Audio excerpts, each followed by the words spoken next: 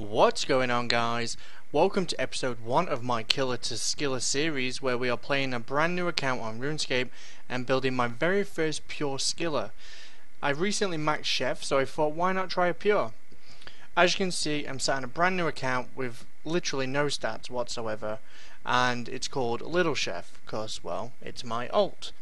Um, I've already gone through and changed all of my game settings and my layout which you know I might tweak as I play through um, and I've also joined my clan uh, Consentus, which is a large skilling clan. I'm gonna. I'm not entirely sure what steps to take as a skiller. I've never played one before, so this is going to be a learning curve for me. It's going to be a learning curve for maybe some of you guys who aren't skillers. But hopefully, we can learn some things and we can share our experiences together. What I've decided to do first though is I'm probably going to unlock my lodestone network, or at least the most important ones, um, just so we can get around a lot easier. And let's actually deal with these three uh, keys that we've got. No, we, we don't need to be shown around. So let's see if we can get anything interesting. So we've got some logs, and we've got a star, and we've got some planks. So I was hoping I'd get some protein items to be honest, but we didn't. So, we will add the bonus experience on Slayer since that's definitely going to be the hardest one to level. And we will activate this lodestone. So I'm going to speed up this video just as I run around and get my um, you know lodestone network sorted and I will get back to you when I'm done.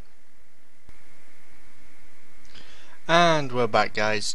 And so you might have um, you notice I'm in Yanille. I was at a playground portal and I thought maybe I could find someone who has a Canifis portal in their house and I could sneakily go over and take the lodestone over there but actually I just discovered that um, you need to do the priest in peril quest in order to defeat the or defeat the ghoul in the underground temple to do it first so at some point I'll use recoils and Saradomin brews uh, to defeat the ghoul. Uh, but I thought I'd try it anyway. So as you can see from my network, I've unlocked everything that I think is really important right now.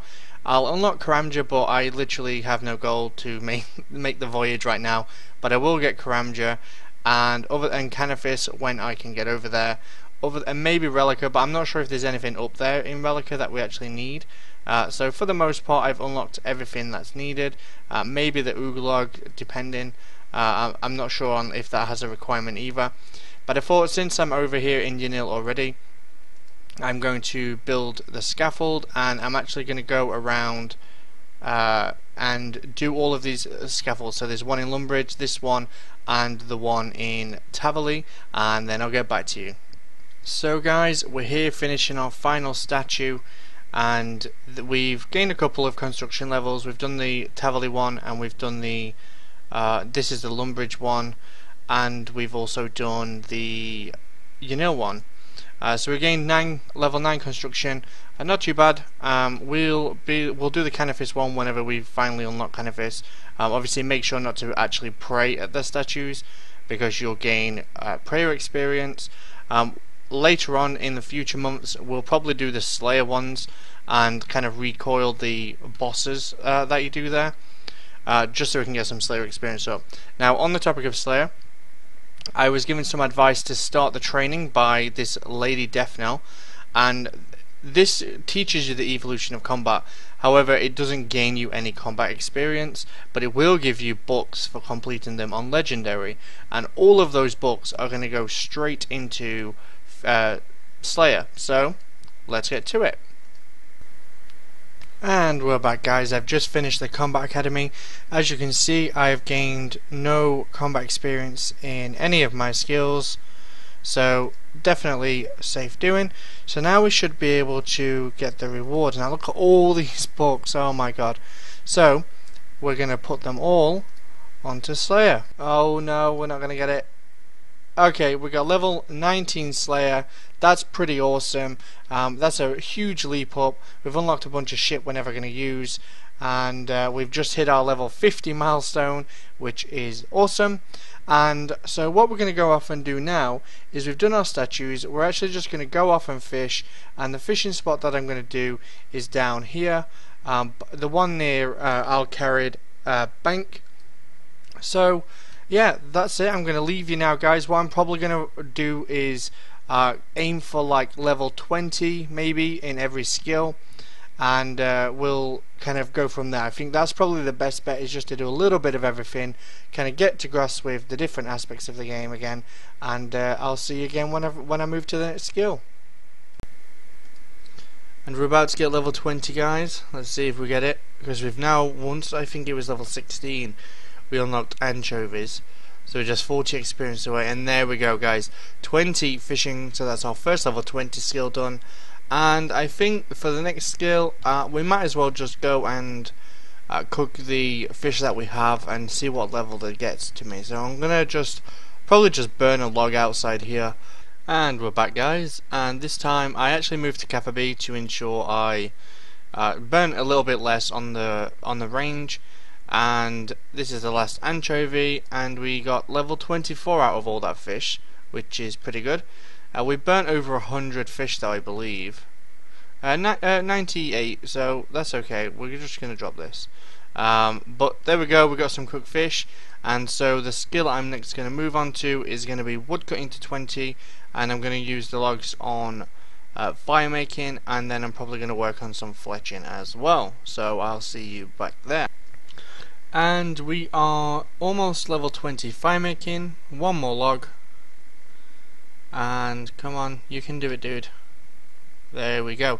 So we've got level 25 making we're going to stop that right now. Uh, we only got to level 15 woodcutting so far so we're going to turn the rest of these into uh, short bows. And we're going to I'm going to see what level oak short bows or oak bows or whatever alright because I'll move to oak trees as soon as I get to that in fletching um, but there we go. So far, level 15, level 25 making, and now we're going to work on fletching. So I will catch up with you guys when I've made progress. So guys, I just hit 20 woodcutting. Um, I'm nowhere near 20 fletching, but I'm just going to carry on woodcutting until I get it. Uh, it, oak like bows and whatever on until level 20 uh, yeah level 20 fletching so I can't do them until there anyway so I'm just gonna kind of just carry on doing this, grinding it out, and see where I go. I might actually start making arrow shafts, and over. Oh no, wait! I don't have any money to buy any feathers. Uh, uh, I, I, was just about. I was just thinking, oh, I can kill some chickens. No, I can't. Um, so I will maybe pause on fletching, and I may craft. Uh, sorry, may mine some bronze and maybe use those bronze bars to make arrowheads. Not sure yet. Um, I'll have a look and uh, I'll get back to you. But for now, I think I'm just going to pop over to mining. Might as well get that to 20 and get smithing to 20 as well. Um, and then we'll see for fletching after that. So guys, I have been mining and smithing and I've gained level 17 mining and 12 smithing. But honestly, it is so slow and boring. And then I just suddenly realised something. Um, and actually, someone in the clan recommended this earlier, and I didn't actually think about how this could, you know, impact on my game. But if I do the um, the stronghold of player security and the stronghold of play, uh, was it player safety? I think between the two of them, you get like 20k uh, coin. And you know what I could do with that is I could then buy 1k bow, uh, 1k flax which is only 12k. Yeah, 12k. That is absolutely ridiculous. Um, once I've got the level, uh, the 12k, I can then spin them, get some crafting experience, and turn that into like 300k. That is ridiculous. So guys, that's what I'm going to go and do. I think this is like the entrance. Yep. So I don't think things are aggressive in here. Auto retaliate is off. I'm going to go through and find the chest and I'll report back when I've completed it. And we've made it to the end of the uh, Stronghold of Player Security. It literally takes 30 seconds. Like once you know, once you remember to actually open the lever, to push the lever rather. So we gained, um, like I think we gained an emote and we gained these safety gloves, and we've also got two antique lamps which are going straight onto Slayer, and uh, yep Slayer, and we gained 10k coins which is great. Oh, we got our 21 Slayer. That's awesome. So that's we're keeping that up with the other skills at least. So now we're going to go back out. So we're in the final room. Let's loot the, what is it, Cradle of Life. And we have a choice between two pair of boots, of course. We are going to choose the colourful one. Uh, because we're not doing combat. And now we're up to 20k coins, which is awesome. So let's climb. Uh, does this take us all the way out? This thing here? I think so. Come on, click it. Jesus. Uh, yeah, takes us all the way out. Okay, so now since we're really, really close, let's just run over to uh, the GE. I've got a few things to sell. Like I could have just sold them to a store, but I price checked like the bronze helmets I were making, and they seem to be doing. Uh, they seem to be worth a lot more just to sell them to the GE. It's not much. Like it's literally like I mean it's 80 GP we're talking about. It's not much at all. But any helps, and I'm gonna go and um, complete those and I'm gonna buy the 1k flax and uh, I don't have to do a tutorial with this guy do I can I just like bank and take my stuff out so I'm actually gonna sell the arrowheads because since I'm gonna get a decent amount of money I'm probably just gonna buy like the supplies I need um, and like just do better oh god you gotta do this fucking tutorial so we will sell our goods. Let's see what we can get from these. Uh, not much, I imagine, but oh, maybe like 5k from there. Nope, no, they don't sell. 2k if they sell. They sold. Another 1k, and oh god, not much. Of this is embarrassing. Uh, so we'll just ram these down. But what we're here to actually buy is flax and I've decided I'm probably going to spin it in Lumbridge. It seems to be the closest to a bank that I can get to. Uh, so get that to the inventory. So that's another 4k. That's okay. So let's buy 1k. oh, should we do 2k? Am I getting bold? Is 2k too much? No, I'll do 1k. I'm, I don't know how much this is actually going to, you know, take. Oh god. Of course they don't buy. I'm, I'm, I'm on limited funds, guys. So they'll buy for around that, surely. I wonder if they're so down because of all the, you know, the botting. Right, I'm willing to go to 20k. Yeah. So we got them for 19k. That's excellent. Now we're going to go off to Lumbridge and we're going to start spinning this. And once I've done the full 1k, I'll come back to you guys and show you how much crafting experience I gained and also my profit. Okay guys, so 1k bowstrings have finally been done and we've got 31 crafting out of it. I lost 2 due to strange rocks but um, that's fine. So let's sell these and make a big profit. So we've made 292k. So we've made 280k profit. Can't argue with that.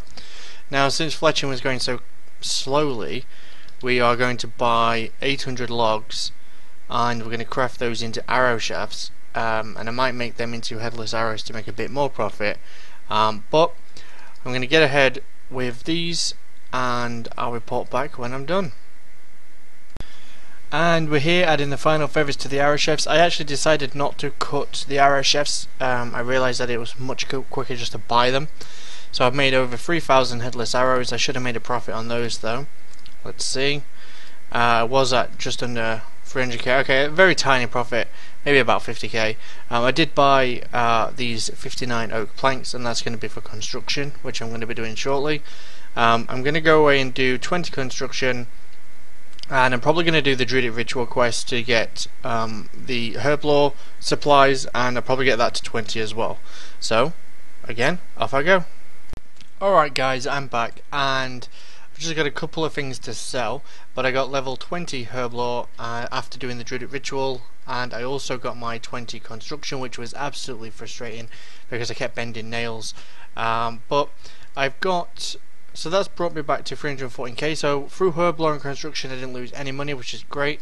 Uh, throughout the day I've gained my 50 Triskelion uh, pieces, so I'm going to hand those in now and get a lamp, which of course is going straight onto Slayer. Will it get us a level? Yep, it actually got us two levels. So the final thing I want to do today is I just want to take a quick run over to the Varrock Museum and I'll get back to you when I'm there. So we're at the statue, we've got a couple of these pieces and I'm going to just use them on there or do I have to talk to this guy first? I think I have to talk to this guy and we've just got 460 fishing and we've got 9 9,900 999 rather crafting some construction, and finally some Herblore. So that's got us a couple of levels as well, and uh, I'm going to get a bag off this guy, so click rope bag, and yes, God, there's too much text here. And can we actually do all of these? So we can do all of those. Yeah, so actually this is something that we can collect for all skills and reset it every single week. Uh, you know, there's no combat skills or anything involved, so we'll definitely be doing that. Alright guys, anyway, this video, I'm not sure how long it's going to be, uh, we'll have to see, uh, but I have gained 20 in near enough all of the skills that I can. There's a few left, like Hunter, which I'm dreading, um, Agility, um, and I'll get on those tomorrow, and then we'll kind of set more of a longer term goal on one particular skill, maybe get it to 50 or something like that. Um, so if you like the video guys, please give it a thumbs up, subscribe to the channel for more, and I'll see you next time.